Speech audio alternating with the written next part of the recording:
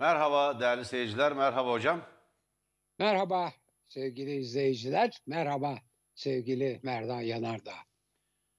Hocam e, bugün grup e, konuşmaları vardı. Hem Meral Akşener'in hem e, Kemal Kılıçdaroğlu'nun ve sabah liderlerin katıldığı Ekrem İmamoğlu'nun, dün akşam Meral Akşener'in katıldığı televizyon programları vardı ve burada bütün dikkatler artık e, seçime yoğunlaşmış durumda ve Türkiye'nin bir seçim atmosferine girdiği her halinden belli. İnsanlar bunu konuşuyorlar.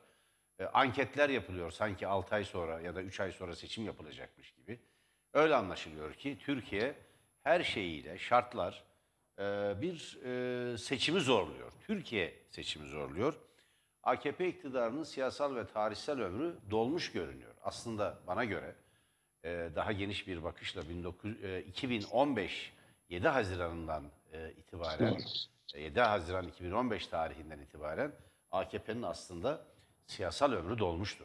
AKP Doğru. bunu kumpasla, kaosla e, uzatmaya çalıştı ve bu süre içinde Türkiye hiçbir biçimde istikrar istikrara kavuşmadı. Bir darbe yaşadı, referandumlar, anayasa değişiklikleri, hükümetler, başkanlık rejimi ve en sonunda geldi ve 2002'de devraldıkları Türkiye'den daha beter bir ekonomik kriz yaşayan bir ülke yarattılar. Yüzde 142 bir enflasyon, dünyada en yüksek enflasyon oranlarından biridir. Türkiye, ligin yani dünya ülkelerinin enflasyon sıralamasında sondan 6. yer yer 8. ülke olmak gibi bir utancı yaşıyor. İnsanlar aç, insanlar yoksullukla boğuşuyor, gelir adaletsizliği derinleşiyor. Ne olup bittiğini tam fark edememiş bir ruh haliyle ya sokaklarda bir karmaşa yaşanıyor adeta. Bunu AKP yıllardır din istismarıyla yani insanlara bakın size biz dininizi verdik diyerek sanki bu ülke daha önce dinsizmiş gibi dininizi verdik diyerek insanların bu tepkilerini yumuşattı. Çünkü AKP insanların AKP iktidarı insanların yoksulluğunun, sefaletinin AKP gibi bir iktidarın farkında olmaması mümkün değil. Ama hedefi bu değil. Hedef cumhuriyeti yıkmak, hedef şer'i bir rejim kurmak, hedef bir siyasal İslamcı, otoriter hatta totaliter bir rejim yaratmak. Bunun için her yol ve her yöntemi mübah kabul eden bir iktidar var. Şimdi bu iktidarın bir erken seçim yapmayacağı bu koşullar içinde ileri sürülüyor. Ben de zaman zaman bu görüşe yakın bir yerde duruyor olmama karşın bu krizin 2023'e kadar daha da derinleşeceği göz önüne alınırsa eğer her an bir baskın seçim yapabileceğini de akılda tutmak lazım. Ama her zaman e, belirttiğim, burada da altını bir kez daha çizmek istediğim gerçeklik şudur. AKP tarihinin en zayıf döneminde yaşıyor. Bir iktidar bloku, yeni bir iktidar bileşimi yaratamadı. Şimdi Cumhuriyet'in geleneksel bir iktidar bileşimi vardı. Neydi bu? İşte İstanbul Burjuvazisi, İstanbul sermayesi, asker sivil üst bürokrasisi, bürokrasi ve yer yer, yer yer bunlara yakın olan organik aydınların e, içinde yer aldığı e, bir iktidar bloku. Bu iktidar blokunun hemen çeperinde e, Cumhur 1925'ten itibaren Güneydoğu'da toprak ağlarıyla gerçekleşen zımmi uzlaşma nedeniyle ki toprak reformu bir şekilde gerçekleşemedi. Büyük toprak sahipleri feodalite e, toprak ağlarını da bu iktidar bileşimi içinde değerlendirebiliriz. Toprak ağlarının iktidar bileşimi içindeki etkinliği zamanla azalmasına karşın bu dediğimiz bileşim varlığını korudu. AKP bunu yıktı. Fakat yerine yeni bir iktidar bloku, yeni bir iktidar bileşimi yaratamadı. AKP Türkiye'nin egemen sınıfları arasında da dar bir kliğin, bir fraksiyon partisi haline geldi. Sonradan zenginleştirdiği İslamcı muhafazakar sermayenin bir partisine dönüştü. Kitlelere de dönerek, sokaktaki insana, yurttaşlara da dönerek biz size dininizi verdik, nankörler diyen bir iktidar var ortada.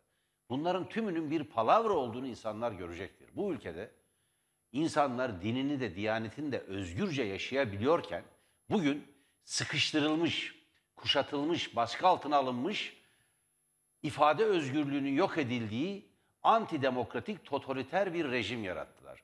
Buradan Türkiye çıkmak istiyor. Burada bir sıkışma var. Siyasette bir sıkışma var. Şimdi eski öldü, bu çok açık. Eski öldü. AKP iktidarı aslında yürüyen ölü gibi. Siyaseten ölü bir iktidarla karşı karşıyayız. Ama yeni doğamıyor. Yani Gramsci'nin söylediği gibi eski ölüyor fakat yeni doğamıyor bir türlü. Dün ben Macaristan'daki e, Orban'ın seçimine dikkat çektim. Muhalefet için büyük bir uyarıcıdır bu. Büyük bir uyarıcıdır. Bu ölü derken hayatta değil, anlamda değil. Bu bir mecazdır. Bu bir mecazdır. Hiçbir zaman yani tekrar e, tekrar iktidarın kaybedilmesi Türkiye için bir felakete dönüşebilir. E, bu bakımdan uyarmakta yarar var diye düşünüyorum. Çünkü giderek bugün Kemal Kılıçdaroğlu'nun grup toplantısında da söylediği gibi ya beşli çeteye beşli çete denmesi yasaklanmaya çalışılıyor muhalefet liderlerine. Şimdi açılan davanın anlamı bu. Efendim neymiş? Tahsildar demiş. Beşli çetenin tahsildarı demiş. Ee, Kemal Kılıçdaroğlu ana muhalefet partisi başkanı.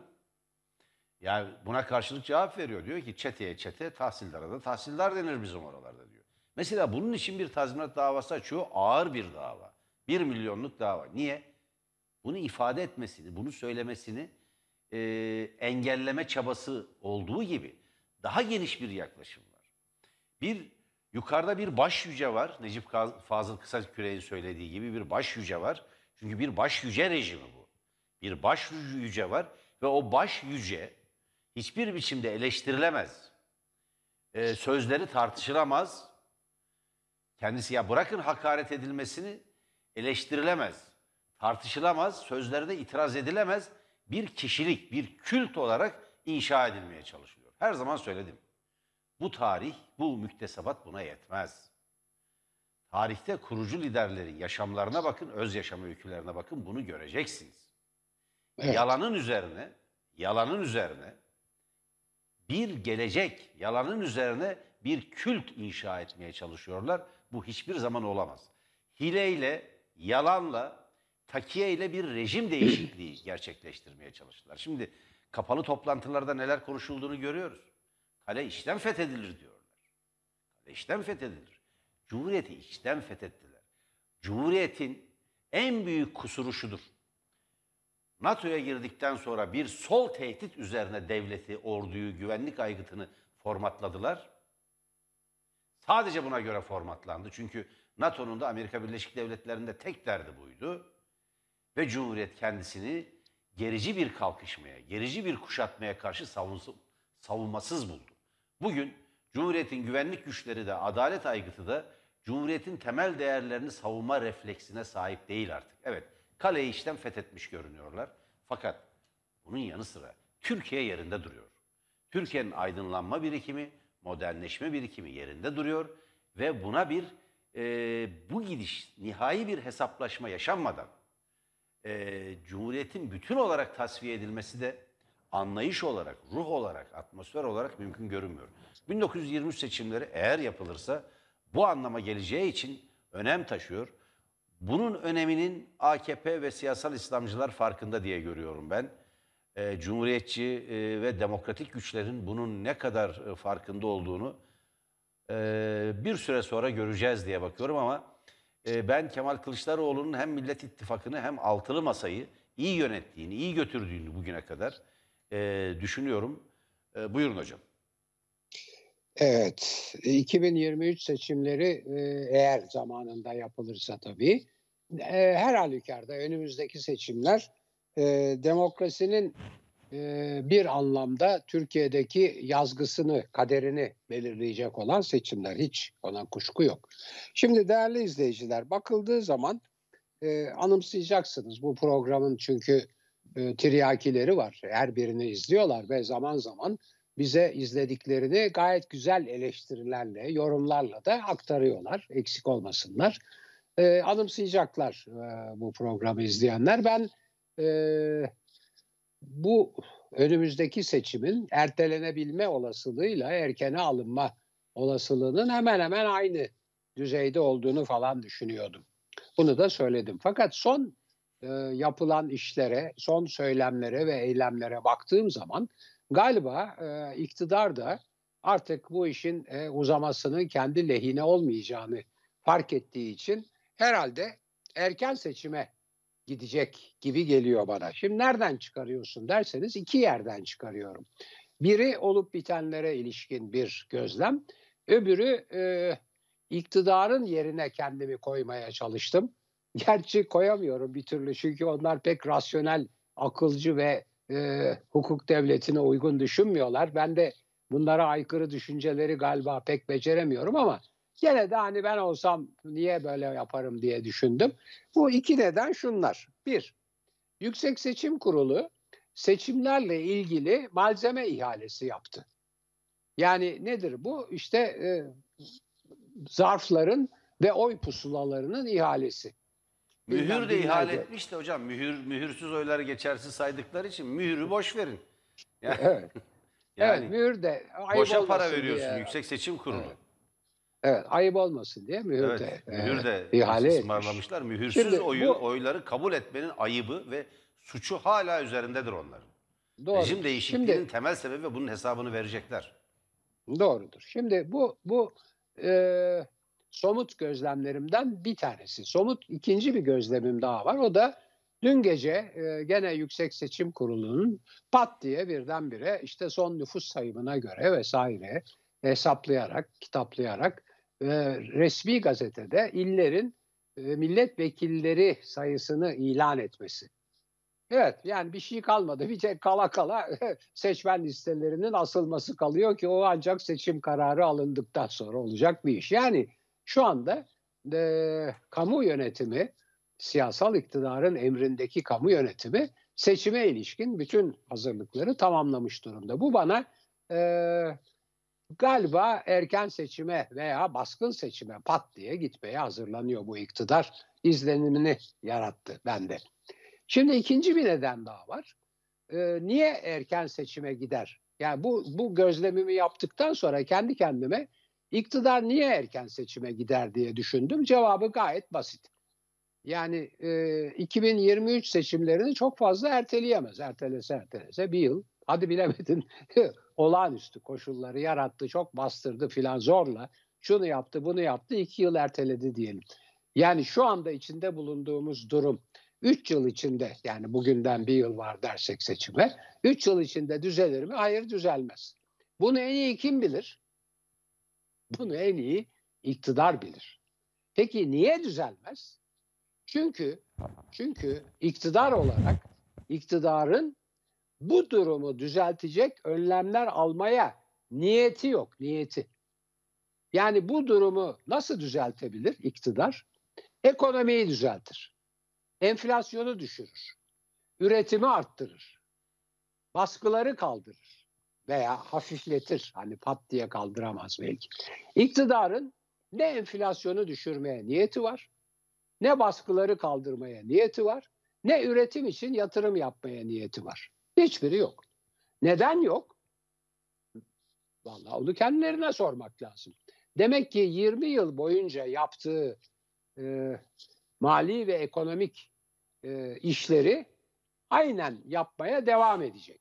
E şimdi bu işleri aynen yapmaya devam edeceğini bilirse baştakiler bunun mevcut durumu düzeltmeyeceğini daha da bozacağını görürler. Ya görmemeleri mümkün değil. Çünkü zaten şu anda bataklığa saplanmış durumda. Türkiye ekonomisi de dış politikası da falan da filan da. Dolayısıyla niyetleri de bu durumu düzeltmek değil, bu durumu sürdürerek o toplumun tüm ülkenin değerlerini, birikimini ve gelirini nasıl 20 yıldır sömürdülerse aynı biçimde o sömürüyü sürdürmek. Eh o zaman durumu daha fazla düzeltemeyecekleri için bir an evvel şu anda seçime gitmekte büyük yarar var. Çünkü bekledikçe işler kötüye gidecek. Dolayısıyla ben hem bu fikir yürütmeden dolayı yani niyetlerinin ülke ekonomisini ve durum çeşitli durumlarını iç politikada dış politikada düzeltmeye dönük olmadığını, niyetlerinin bilakis 20 yıldır sürdürdükleri veya tırmandırdıkları bu e, sömürü düzenini daha da aşırı e, aşırı noktalara taşıyacakları inancıyla bunu bir an evvel e, seçime giderek çözüme ulaştırmayı düşündüklerini sanıyorum. Şimdi bunları dedikten sonra ne yapıyor tabii? Yani erken seçime gitmeye karar verdi. Ne yapıyor?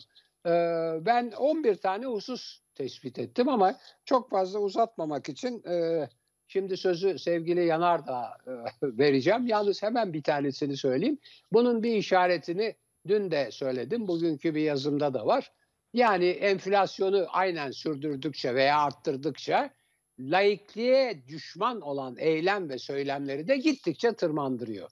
Çünkü birini yapıp soygunu yani e, halkın soyulmasını, halkın istismarını e, arttırırken öbür tarafta din üzerinden bir şeriatçılık ve benzeri tartışmaları körükleyerek ekonomideki yaptığını, maliyedeki yaptığını, hepimizin cebinden paralar aldığını gizlemek, saklamak ve konuyu başka yere saptırmak istiyor. Ama bu birincisi daha 10 tane daha yolu var. Onları da birazdan söyleyeceğim. Buyurunuz efendim. Teşekkür ederim hocam. Hocam İstanbul Belediyesi'nde, Büyükşehir Belediyesi'nde bir e, sorun yaşanıyor uzunca bir. AKP iktidarı ve AKP zihniyeti İstanbul Büyükşehir Belediyesi'nin 16 milyon İstanbulluya hizmet etmesini engellemek için elinden geleni yapıyor. Her şeyiyle ama her şeyiyle iktidar ya yetkisini daraltıyor ya sorumluluk alanlarını daraltıyor. Mesela tarihi eserleri, bazı vakıfları, bazı turistik tesisleri veyahut bazı işletmeleri İstanbul Belediyesi'nden alarak ilgili bakanlıklara veyahut genel müdürlüklere bağlıyor. Son olarak UKM denilen yani Ulaştırma Koordinasyon Merkezi'nin bileşimini de değiştirdi. Ee, İstanbul'daki toplu taşıma e, ücretlerine zamlar, toplu taşımanın düzenlenmesi, İstanbul trafiğine şekil verilmesi, trafiğin rahatlatılması gibi ve benzer e, ulaşım sorunlarının görüşüldüğü, taksi, taksi plakaları, e, taksi ücretlerinin görüşüldüğü, tartışıldığı bir kuruldur bu. Burada valiliğin, Ulaştırma Bakanlığı'nın, belediyenin temsilcileri vardır. Bu UKM'nin bileşimini değiştirerek bakanlığın dolayısıyla AKP'lilerin çoğunluk olmasını sağladılar. Ve buradan hiçbir kararın çıkması mümkün değil. Tıpkı belediye meclisinde yaptıkları engelleme, takoz koyma, belediye çalışmalarını bloke etme girişimi gibi. Her şeye zam yapılırken, üstelik de her şey akaryakıt, motorin zamlanmışken, iki katı değil, üç katına çıkmışken birçok ürün, İstanbul Belediyesi toplu taşıma ücretlerine küçük bir zam bile yapamıyor. Niyetleri İstanbul Belediyesi'ni çalışamaz hale getirmek. Belediye otobüslerinin ve metrobüslerinin seferlerini durdurmasına yol açarak İstanbul'da bir kaos yaratmak ve bunu Ekrem İmamoğlu'nun ve CHP'nin başarısızlığı olarak topluma yaymaya kalkışmaktır. Şimdi bu çok ucuz bir numara. Çok ucuz bir numara.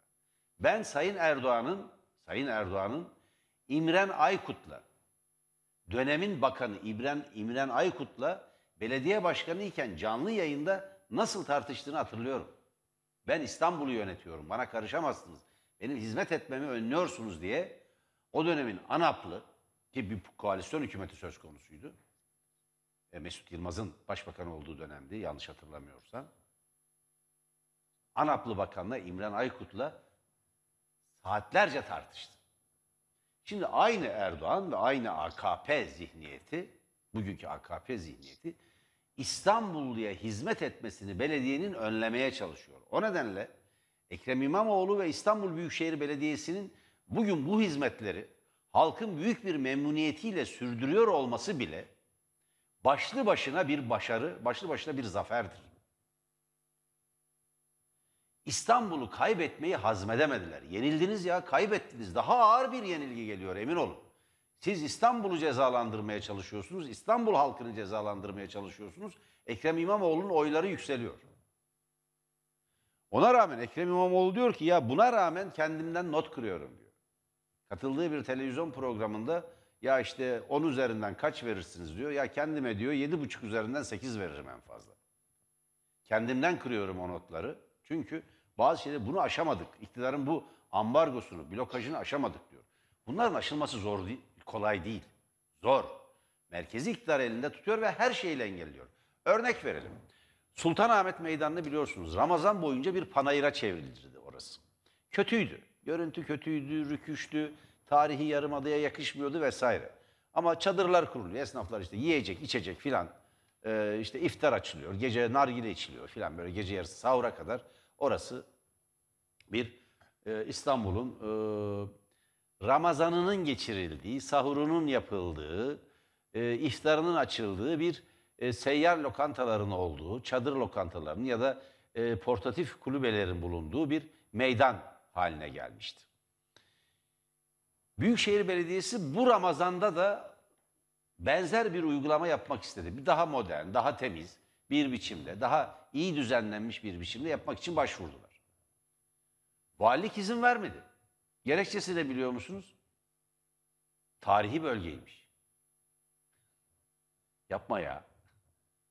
Yani 20 yıldır tarihi bölge olduğu yeni mi aklınıza geldi? Orayı bir kasaba panayırına çevirdiniz. Yani İstanbul gibi büyük bir dünya şehrini siz bir kasaba panayırına çevirdiniz yıllarca. Ama CHP'li İstanbul Büyükşehir Belediyesi başvurduğu için siz birdenbire tarihi koruma merakınız tuttu. Tarihi bir e, yarımada olduğunu fark ettiniz. Bu tarihi bölgede böyle bir e, düzenleme yapılamaz, geçici düzenleme yapılamaz diye valilik yasak koydu. Şimdi tablo bu. Bu nedenle e, ben özellikle İstanbulluların, bütün Türkiye'de insanların AKP iktidarının millete hizmet diye bir derdi olmadığını, siyasal İslamcı, şeriatçı hedefleri için her şeyi yakmaya hazır bir kadroyla karşı karşıya bulunduğumuzu, Türkiye'yi İslam dünyasının devam eden orta çağına iade etmeye çalışan bir kadronun iş başında olduğunu bir kez daha hatırlatmak isterim. Durum budur. Durum budur. İnsanların dinine, diyanetine, inancına müdahale eden AKP iktidarıdır. Başka hiç kimse değil. AKP iktidarıdır. İnsanların özgürce, vicdan rahatlığıyla dinini yaşamasını ve ibadetini gerçekleştirmesini de önleyen, onu formatlamaya çalışan, orta çağdan kalma bir Emevi ideolojisini bu ülkeye din diye dayatan ve sonuç olarak da toplumun boğazını sıkan bir iktidarla karşı karşıyayız. Siz 19 yıl, 18-19 yıl bir panayıra çevirin Sultanahmet Ahmet Meydanı'nı. Ama bu Ramazan'da birdenbire oranın tarihi bir e, bölge olduğunu hatırlayın. Yapma ya. iki yılda bir tarihi bölge haline geldi. Birdenbire. Birdenbire. E o tarihi bölgede Ayasofya Camii'ni açtınız. Müzeler bölgesinde karşısında Sultanahmet vardı. Ve Erdoğan'ın kendisi söylemişti zaten. Önce, Sultanahmet'i doldurun sonra burayı açın diye. İdeolojisi açtınız ve bitti bu kadar. Ne oldu? Evet. Ne oldu? Yani Türkiye'de şey mi oldu? Yani insanlar Müslüman olmayanlar birdenbire Müslüman mı oldu? Türkiye daha önce Müslüman değildi de e, şey mi oldu? Yani e, ne diyelim bir e, İslam'ın en yüksek yaşandığı bir ülke haline mi geldi birdenbire? Peki o imam ne diyor? Survivor yarışmasından söz ederken insanların iman, inançlarının sarsıldığını, bu ülke insanların inançtan uzaklaştığını söylüyor. En fazla deist yani bir tanrıya inanan, tanrının varlığına inanan ama dine inanmayan demektir deist. En fazla yaygınlaştığı dönem bütün istatistiklerde bu ortaya çıkıyor. Benim doğrudan görüştüğüm ilahiyatçı hocaların kendi okullarındaki gözlemlerini bana aktardılar. Doktora çalışmam sırasında. Ki ilahiyatçı hocalarla e, uzun uzun mülakatlar yaptım. En fazla bu iktidar döneminde yaygınlaştı. Bunu da hatırlatmak isterim. Burun hocam. Evet. Şimdi e, değerli izleyiciler, iktidar e, erken seçime doğru gidiyor bence. E, bunun başka bazı işaretleri de var. Çünkü yaptıkları şeylere bakıyorum, eylemlerine ve söylemlerine bakıyorum. Bir defa biraz evvel işaret ettiğim gibi dinci söylemini fevkalade şiddetlendirdi. Sadece dinci söylemini şiddetlendirmekle de kalmadı milliyetçi söylemini de şiddetlendirdi. Bunu özellikle çift taraflı kullanıyor. Bir yandan 6 milyon oy sahibi bir partiyi e, yok saymaya ve onu teröristlikle itham etmeye yönelik açıklamaları var. söylemleri var. Eylemleri var. O partinin kapatılması için Anayasa Mahkemesi'nde açılmış bir dava var. Bu tabii daha çok milliyetçi söylemin e, vurgul, vurgulanmasına dahil. E, dinci söylemleri her an e, Diyanet İşleri Başkanlığı aracılığıyla yaşamın her alanına ama istisnasız her alanına e, müdahale ettirerek, ettirilerek Diyanet tarafından yapıyor. Ve işte oraya paralar e, aktarılıyor, bir takım yetkiler veriliyor, e, protokoldaki yeri yükseltiliyor falan. Diyanetle ilgili bir şeyi eleştirdiğiniz zaman cezalar yazdırılıyor. E, örneğin bu programda benim 4 ve 6 yaş arasındaki çocuklara o yaşta inanç eğitimi yapılamaz, bu beyin yıkamadır dediğim için ceza veriyor e, Rüsü'ye. İnşallah o mahkemece reddedilir ileride, düzeltilir. Filan böyle şeyler yapılıyor. Şimdi bu çok önemli. Çünkü e, demin e, enflasyonun yaptığı yıkıcı etkileri e, yani insanların aç kalmasını önlemek, saptırmak, daha doğrusu aç kalmasının tartışılmasını önlemek, saptırmak için bu tür dinci ve milliyetçi mukaddes değerlere, kimliklere ilişkin eylemler e, pompalanıyor sürekli olarak. Zaten iktidara gelirken ve iktidarda da bunu çok kullanmıştı. Şimdi aslında rücu etti. O hani ben artık e, milli görüş gömleğini çıkardım. E, muhafazakar, muhafazakar aynen batıdaki muhafazakar Hristiyanlar gibi e, bir parti oldum söylemi tamamen terk edildi. Şimdi böyle laiklik karşıtlığı vesaire dolu dizgin gidiyor. İkincisi ister inanın ister inanmayın dış ilişkiler ki tam Türkiye kesin bir çıkmaza girmiştir. Yani Suriye'de Türkiye'yi hiç ilgilendirmeyen, Türkiye'nin katiyen meselesi olmayan ve Türkiye'nin iç meselelerini ve dış meselelerini daha da büyütecek ve çıkmaza sokacak bir savaşa soktu. Bu iktidar, Erdoğan AKP iktidarı Türkiye'yi Suriye'de hiçbir çıkarı olmayan, e, o zamanki konjonktüre göre bir, bir sıkıntı da orada yaşanmayan bir ülkede Türkiye'nin bütün iç ve dış ilişkilerini bozacak ve en sonunda işte 6 milyon kadar Suriyeli mülteciyi de Türkiye'nin e, içine sokacak ve pek çok başka sorunu da beraberinde getirecek bir savaşı başlattı. Şimdi bu bu iktidara Erdoğan'a Nobel Barış Ödülü verilmesini filan teklif eden bir kalemşör var, bir e, tetikçi var. İktidarın e, kalemi, e, iktidarın sarayın tetikçilerinden biri. Şimdi öbürleri dövünüyorlardır. Ya niye bizim aklımıza bu gelmedi de bu bunu kaptı bizden diye. Yani ister inanın ister inanmayın böylece bir bir bir bir e, toplumda e, bir e, imaj pompalanıyor. Bu arada bir takım e, bir takım e, araştırma e, e, kuruluşları da e, bazı soruşturmalar yapıyorlar, anketler yapıyorlar.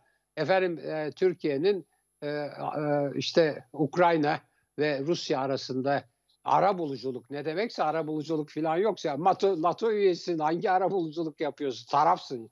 Neyse işte Türkiye'de e, İstanbul'da toplanın filan dediklerini aslında bakın orada çok küçük bir simgesel olay var. Birinci toplantı Rusya'nın tarafı olan Beyaz Rusya'da yapıldı. İkinci toplantı NATO'nun tarafı olan Türkiye'de İstanbul'da yapıldı. Bu çok basit. Yani ilkokul talebesi bile bunu görür. Hani bir sende bir bende hikayesi gidiyor. Neyse. Bunlar kullanılarak güya prestiji atmış filan. Çünkü o zaman senin e, domatesin e, fiyatı birdenbire 25 liradan 15 liraya düşüyor. Hıyarın fiyatı 25 liradan 20 liraya düşüyor herhalde filan. Yani böyle bir dış ilişkileri burada kullanma meselesi var. İkincisi e, bu. Üçüncüsü e, muhaliflere karşı ve e, medyaya karşı baskıyı müthiş arttırdı. Şimdi burada e, çok dikkati çeken ve benim e, yargı adına çok üzüldüğüm bir tavır var. Biraz evvel e, Merdan Bey bunu çok net olarak vurguladı. Bir milyon liralık bir e, tazminat davası açıyor Kılıçdaroğlu aleyhine. Gayri ciddi bir şey. Çünkü orada Yargıtay'ın uzun yıllardır bir içtihadı var. Bu tür e, manevi e, tazminat davaları e, vereni yoksullaştırmayacak, alanı zenginleştirmeyecek düzeyde olmalı. Deyince ben hemen şimdi Güler e, e, sevgili Yanardağ diyecek ki canım onları zenginleştirmez. Bir milyon ne olacak? Bir milyoncuk onlar için. Gemicik gibi işte filan bir şey.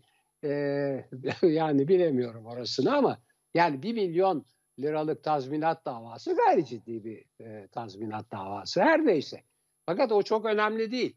Yargı aracılığıyla Kılıçdaroğlu'nun söylediği gibi söylemleri engellemeye çalışıyor.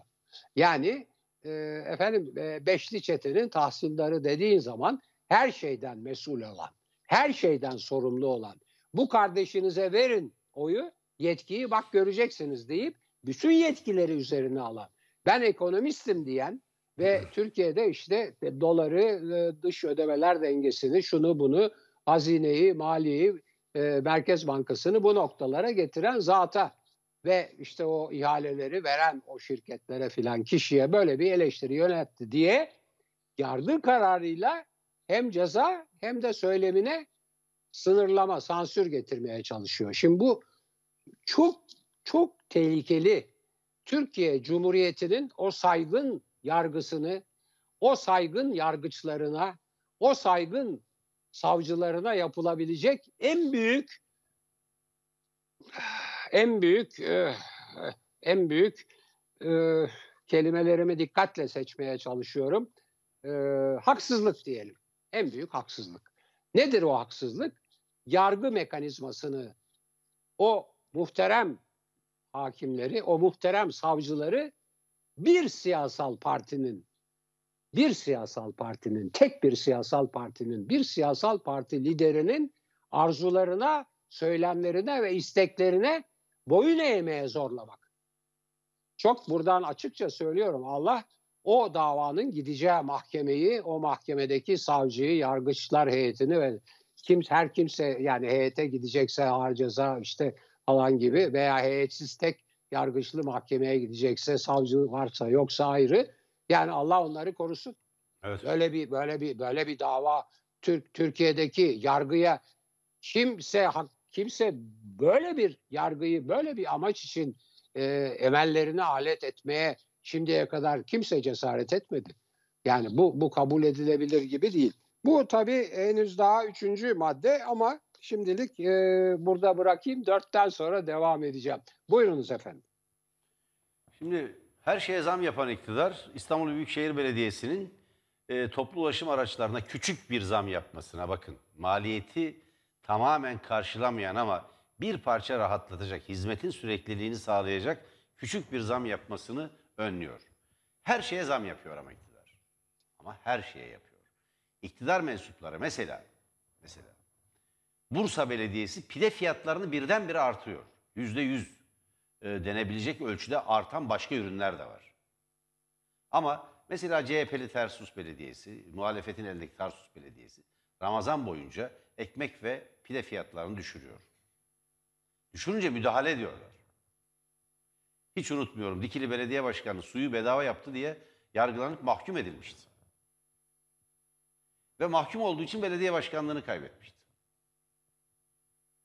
Şimdi bakın millete hizmet gibi bir dertleri olmayanlar esas olarak esas olarak siyasal İslamcı hedefleri için kutsal dava dedikleri, kutlu dava dedikleri siyasal İslamcı hedefleri için mücadele edenlere bu ülke bir daha geçit vermeyecektir. Bu zihniyet sahiplerine. Bir daha geçit vermeyecektir. Bunu unutmamak lazım. Şimdi e, bunu hemen hatırlattıktan sonra Türkiye'nin Avrupa'nın bir çöplüğü haline gelmesini sağlayan da bu iktidardır. Hatırlatalım. Türkiye bir daha altını çiziyorum. Avrupa'nın çöplüğü haline getiriliyor. Bugün meclisteki basın toplantılarından birinde de CHP Adana, Milletvekili Burhanettin Bulut Adana'da bakın Londra'dan geldiği tespit edilen çünkü çevreci bir örgüt GPS bir çöpe GPS e, monte ederek yani bir elektronik sinyal veren bir GPS e, monte ediyor ve Londra'dan çıkan çöpün Adana'ya kadar geldiği ortaya çıkıyor. Türkiye'yi Avrupa'nın çöplüğü yaptı AKP iktidarı. Ve bugün Yine CHP milletvekili Sayın Bulut diyor ki bu çöplerin arasında tıbbi atıklar da var. Hastane çöpleri de var diyor. CHP'ye çöplük, pislik, ruhu karalar partisi diye saldıranlar, hakaret edenler, küfür edenler memleketi bir çöplüğe çevirmişler. Memleketi bir çöplüğe çevirmişler. Bunun çok önemli olduğunu düşünüyorum. Türkiye'nin bütün yurttaşları, sadece çevreciler değil, sadece aydınlar değil, sadece işte demokratik kitle örgütleri değil, bütün ülke e, insanları, bütün yurttaşlarımız buna karşı çıkmalıdır. Bir çevre felaketiyle karşı karşıya Türkiye. Nasıl ki Muğla, İkizköy'de halk mücadele ederek zeytinlik alanının sökülüp orada bir kömür madeni açılmasını önledilerse bu da önlenmelidir. Türkiye Avrupa'nın, Türkiye Batı'nın çöplüğü değildir. Batı'nın çöplüğü de hiçbir zaman olmayacaktır. Eğer Türkiye'yi Batı'nın çöplüğü haline getirenleri bu millet tarihin çöp sepetine atacaktır. Bundan emin olun. Biz de bunun için elimizden geleni yapacağız. Buyurun hocam. Evet, çok haklısınız tabii. Şimdi bıraktığım yerden devam ediyorum. Ee, dördüncü madde, yani erken seçime giderken 11 koldan e, hücum ediyor dedim. Dördüncü hücum, yandaşlara kaynak aktarmayı hızlandırdı.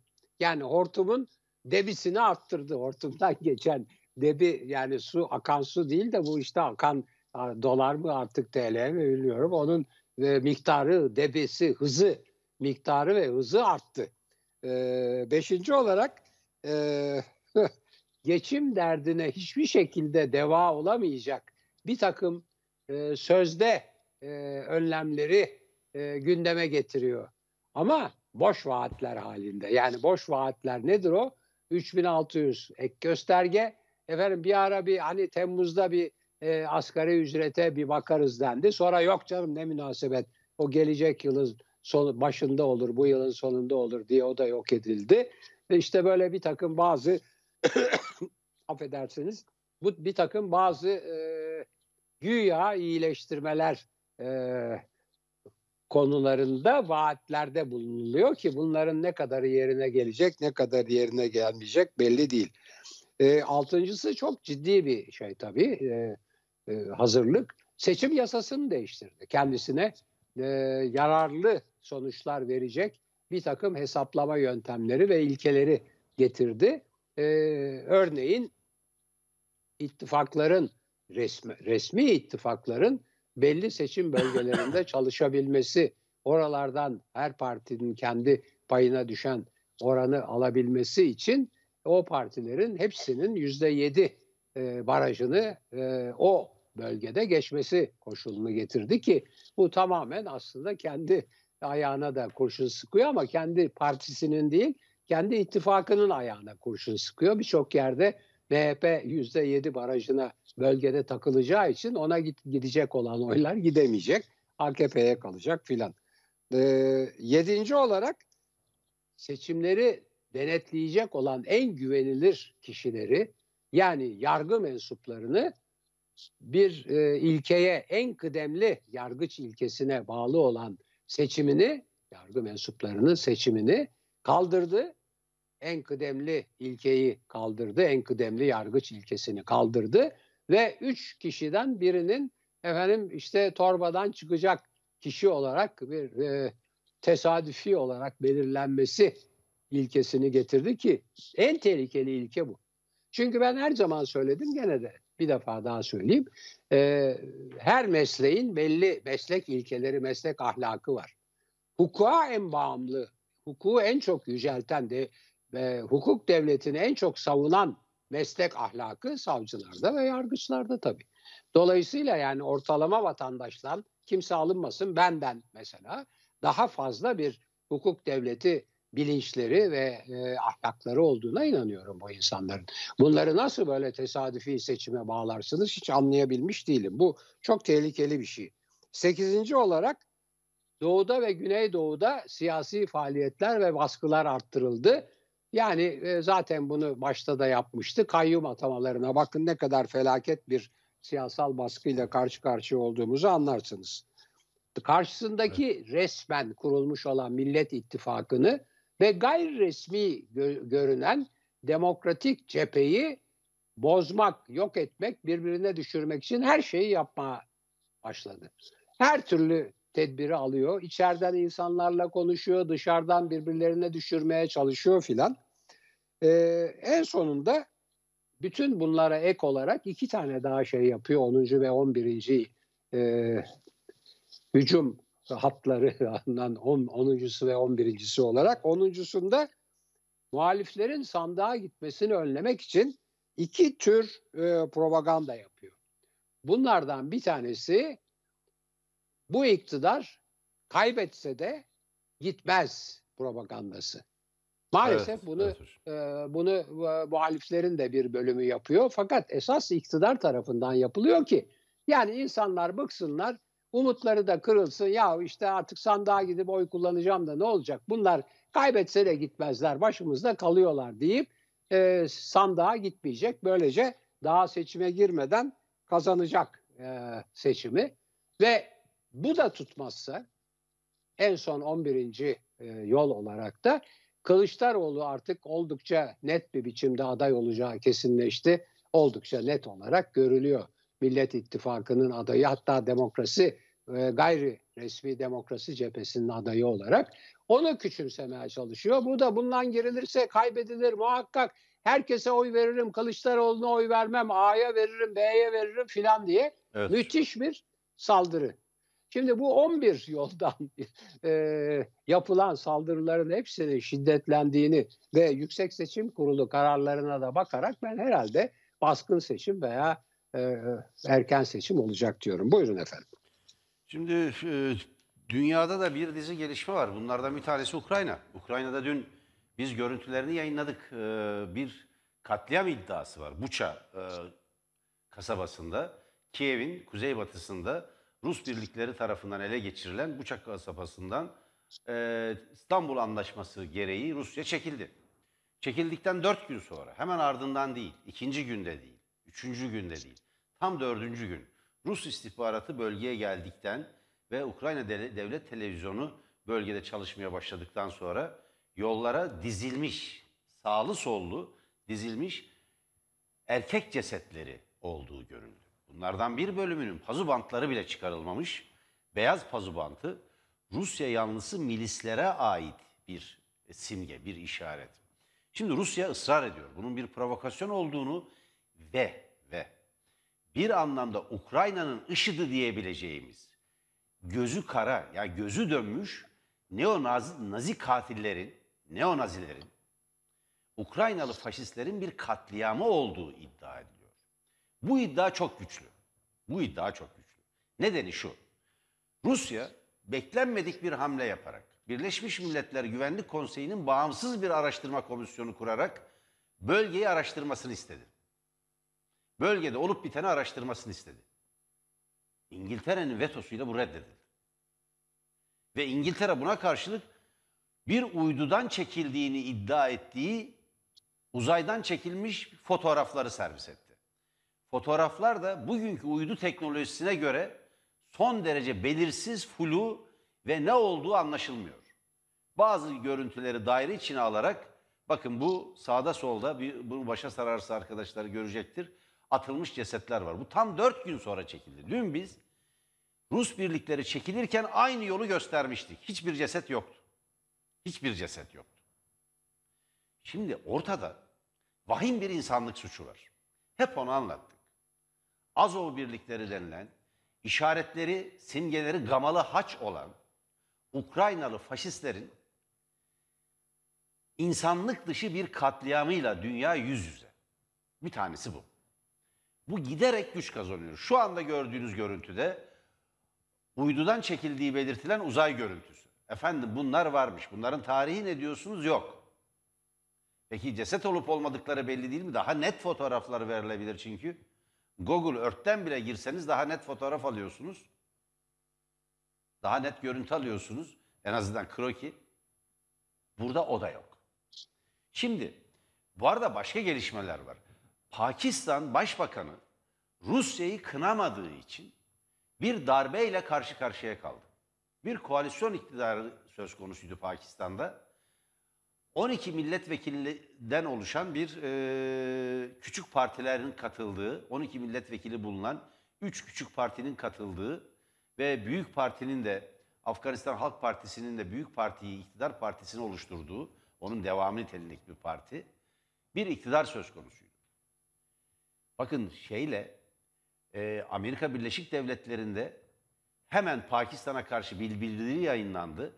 Biliyorsunuz Afganistan, e, düzeltiyorum Pakistan Başbakanı Rusya'yı da ziyaret etti.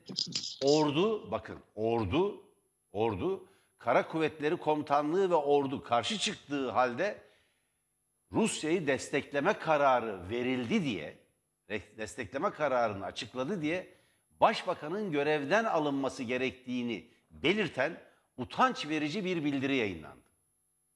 Bunun üzerine iki koalisyon partisi çekildi. Fakat e, başbakan önemli bir hamle yaparak Cumhurbaşkanına ki Cumhurbaşkanı bunu reddetti ve bir erken seçim kararı aldılar. Bakın dünyanın her yerinde Afganistan Savaşı bütün dengeleri değiştiren bir rol oynamaya başladı. Bir tanesi bu. Bir tanesi bu. Ee, başka bir dizi daha gelişmeler daha var. Yani e, Ukrayna Savaşı'nın tetiklediği bir tanesi Tav- e, Tayvan. Tayvan'da her an bir çatışma, her an bir e, sıcak gelişme yaşanabilir. Ben Tayvan'a bir kez daha e, dikkat çekmek istiyorum. O nedenle, o nedenle e, Türkiye'nin bir NATO üyesi olduğunu unutmadan, NATO üyesi olduğunu unutmadan Ukrayna Savaşı'nda her şeye karşın soğukkanlı bir tutum takınması AKP iktidarının olumlu bir gelişmedir diye, olumlu bir e, siyasettir diye burada belirtmek isterim.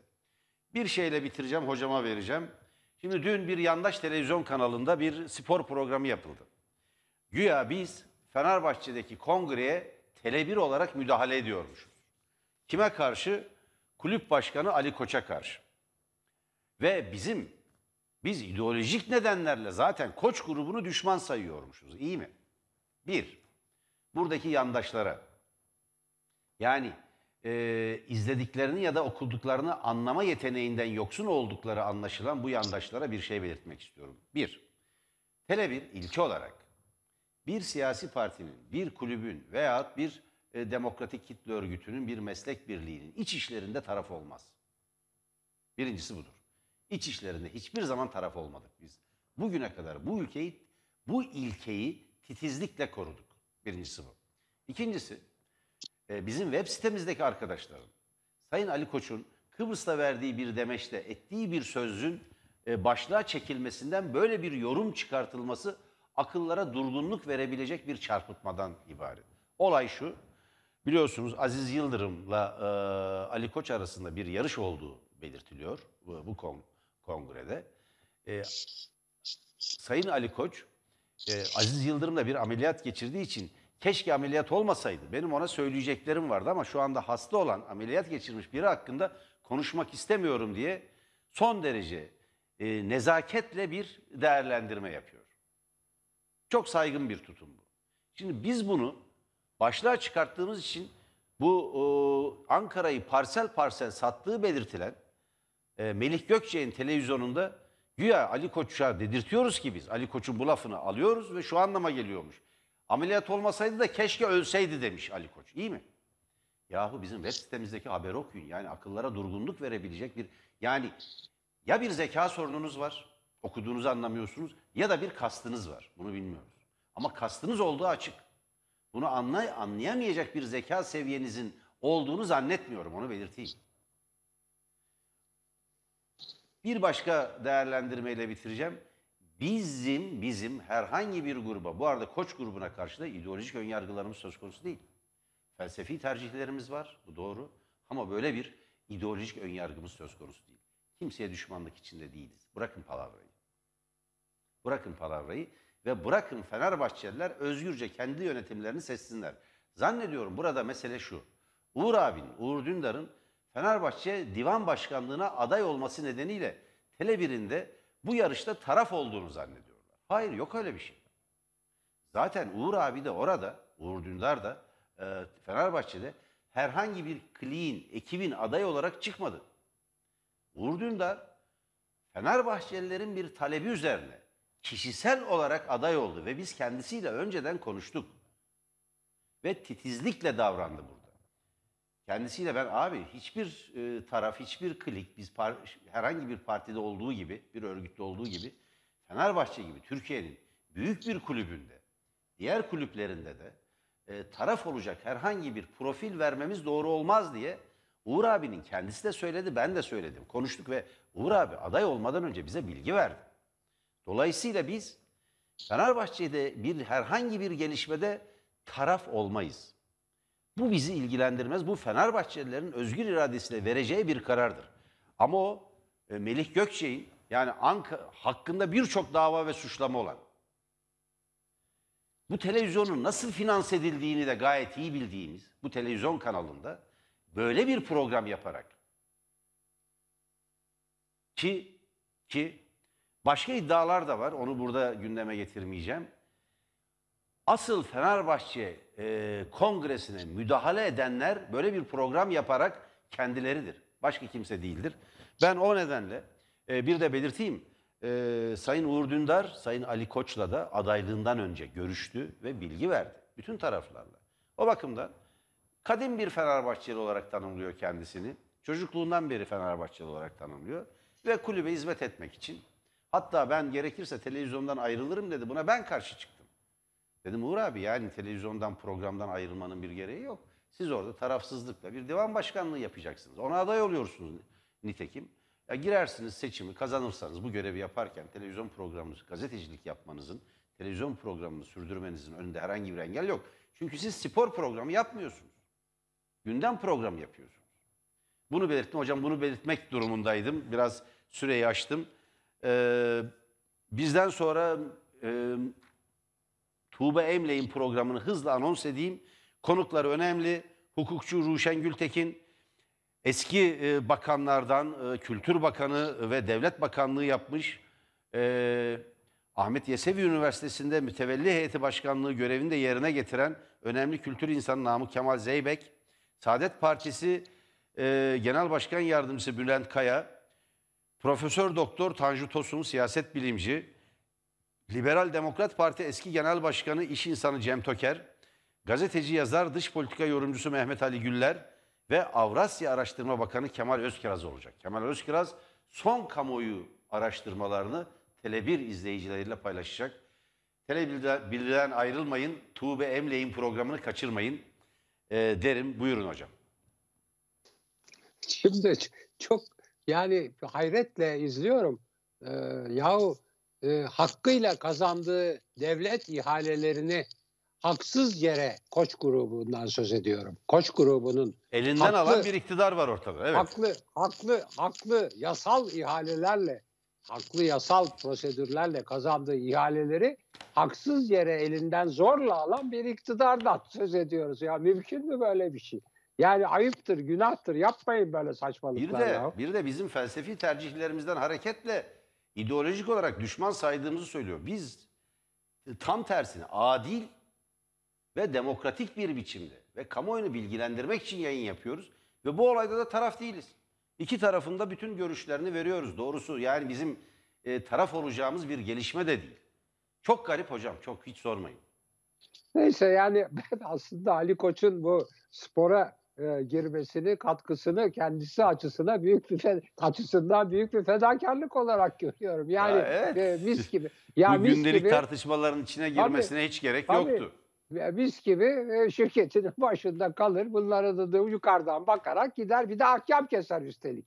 Girdi, serliyor. Yani neyse. Evet. Ama üstelik hatırlayın aynı gruba Evet. Gezi Gezi direnişi sırasında efendim bunlara destek verdiler. Evet. Otellerini açtılar filan diye ne biçim saldırıldı yahu? Ayıptır, günahtır. Kalamış yapmayın Marinası'nın yani. ihalesini iptal ettiniz. Birçok ihaleyi Ya, iptal ettiniz. Daha neler, daha Çok iyi. neler, daha neler. Yani Neyse yani- savunma sanayi ihalelerini gerekçesiz bir şekilde ihla- e, iptal ettiler ve biz burada yayınladık. Neredeydi Beyaz TV? Evet. Ya Şimdi çok değerli izleyiciler. Çok sahtekar. son son bir şeyle Yani- bitireceğim. bir medya sahtekarlığı bu. Evet son bir şeyle bitireceğim. Hayırlı olsun. Ee, mutfaktaki yangına son bir benzinle daha körükle gittiler. Ee, tüp, mutfak tüpü 316 liraya çıkmış. Hayırlı olsun. Görüşmek üzere. Hoşçakalın.